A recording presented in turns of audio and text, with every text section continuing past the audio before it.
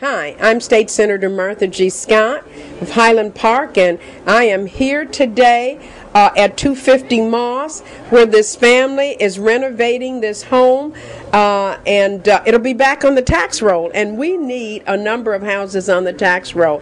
I serve as um, the legislative, one of the legislative chairpersons for the legislative build and we're doing homes all over in our districts this summer.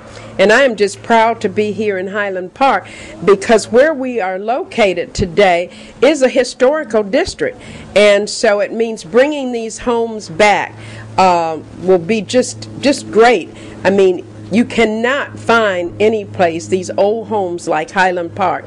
Uh, they are well structured, and so just a little tender love and care uh, from these individuals.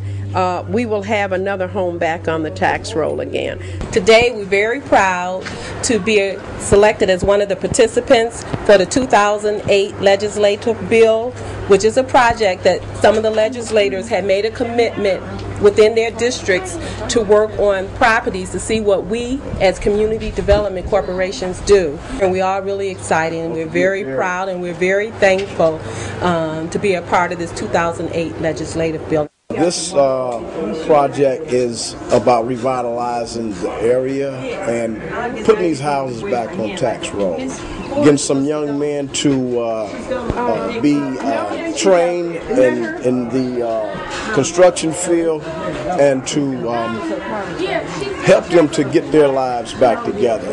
This is going to be a total renovation here. We're going to uh, be doing drywalling, painting, we're going to uh, totally redo the kitchen, the bathroom, and um, just pretty much uh, a, a, rehab project here. Everything is going to be new here. And I'm here uh, working with Mrs. Airy with Mines, and we decided to team up because I have a building across the street, which will soon become a food pantry, where we can reach out to the you know the needy families, the, the, the families that's in distress, and you know just loan a helping hand, and uh, just to help enhance the community and bring the community back. There is problems in each area, Highland Park and Detroit.